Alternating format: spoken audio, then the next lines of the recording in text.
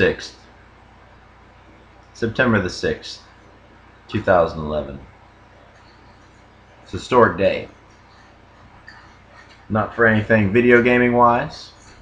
Not for anything is really of any real re re relevance. No real relevance. So for my own, maybe yours as a gamer.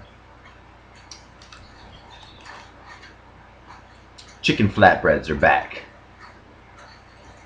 Taco Bell. For those of you that don't know, the chicken flatbread is the perfect food. It has delicious, delicious flatbread, obviously. It's covered in chicken, cheese, and jalapeno sauce. They're the tasty things that you might add to it, like hot sauce.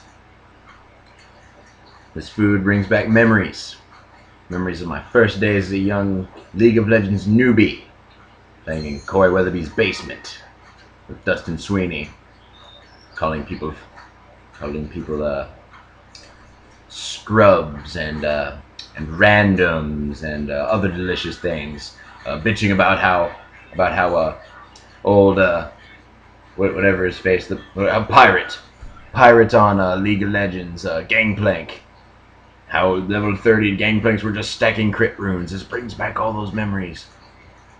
I'm about to take my first bite in about a year, and I wanted to share it with everyone. Here we go.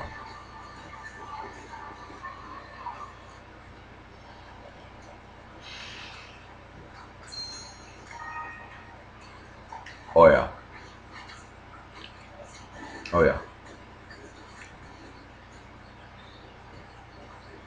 Oh my god. Oh my god. Okay. Some of you think I might be being a, a bit dramatic about the chicken flatbread. Do you know how much this costs? 99 cents. That's a buck. that is a dollar. That is one simoleon. One dead president.